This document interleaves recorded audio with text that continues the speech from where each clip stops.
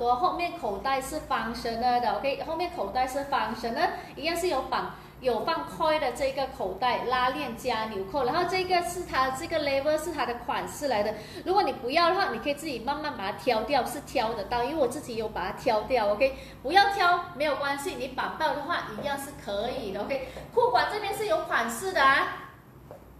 它这边裤管这边裤脚啊是这样子有 slit 的啊，是在内侧啊，左右两边的内侧都有 slit，它不是在外侧啊，它是在内侧这样子有款式。基本上我嫌它开的不够大，为什么看不到那个款式？只是微微看得到，它是在这边左右内左右两边的内侧有口袋，中高腰啊，OK，中高腰非常的显瘦，现在很流行这样子的。裁剪，OK，比较少有 T 两千，比较少有有这样子的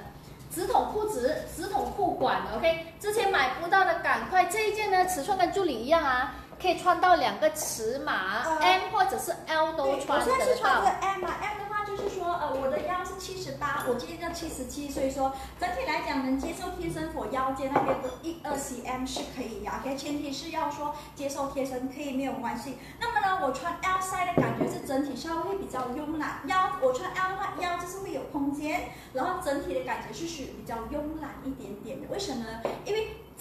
直筒的款式，有些人会特地拿大一个码，因为它是整体穿起来会比较爽帅的感觉，比较慵懒的感觉，可以选择带大啊，带走大一个码。我现在是穿着 M，我是自留，我自己留了本身，我是留了 M size 这个款式，所以跟我的尺寸相当。建议你们带走 M size，想说大一个码的可以哈，这个款式可以，我会推荐哈。第二说，呃，带个码的风格穿起来完全是不一样哈。穿了微松的话，一样可以绑到啊。我是穿这 S，OK，整体穿起来是属于 full length 的那个裁剪，它就不能像刚才那个可以两穿啊。这一个就是不能够翻遮了的，翻遮不到，OK，有区别的。刚才那个是胸裤管的，这个就是直筒裤管，不能遮哈，这个遮不到。后面呢，整体穿起来是这样子一样啊。虽然它是比较宽松的那个版型，可是它后面一样包臀包到很里，你不会穿上去感觉到后面会有很多布。总之之前买不到的赶快啊，不然的话这次没了就是没了，因为这个数量真是超少，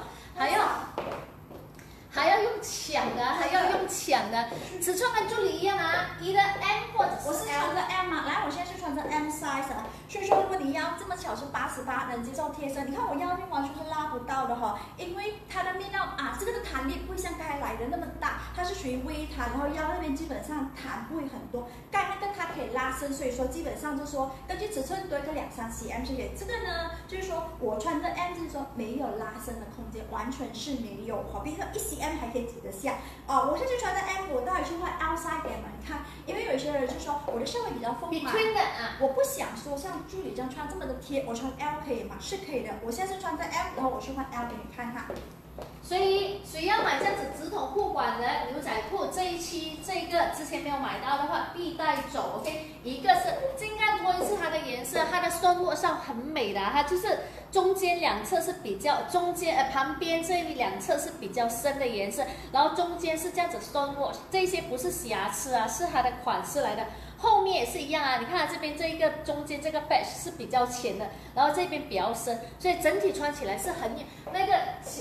它可以给你看到你的脚是非常显瘦，还有穿这样子中高腰的呃宽裤脚的裤子，还有一个好处就是整体把你脚的比例拉长了，就显得你很高，感觉到我在一七零没有啊，我一六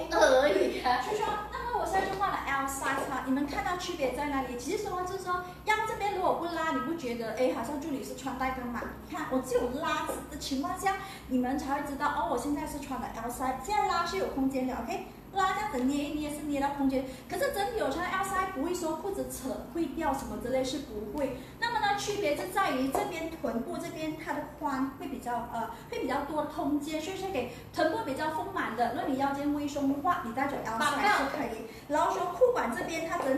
较宽，所以整体 M 跟 L 的区别就是 L size 的整体感觉会稍微的比较慵懒。比起我穿 M size，所以说你的 size 和一样，你 either 可以选择 M 或者是 L，L 的话不会松，只是说拉伸有空间，M 的话就是说会比较贴，没有拉伸的空间嘛，所以说两个 size 都可以哈，这个。一个色衣 PPJ 八十九，价钱是一零九，价钱一零九一样是由厂家规定必须要卖的价钱，OK，只有一个色，最小的码是从 S 开始，最大是去到 XXL，我是穿着 S，如果你是跟着助理尺寸下单，你想要比较有曲线的话，你就穿回 M，可是你想不想穿的太贴，然后又不想穿的比较有那个慵懒的感觉，你可以带走 L 三，OK？因为刚才助理一出来的时候他是穿 M，现在他刚才是换了 L 三一个是啊 PPJ 八十九，之前买不到的赶快啊，中高腰，OK，面料是有。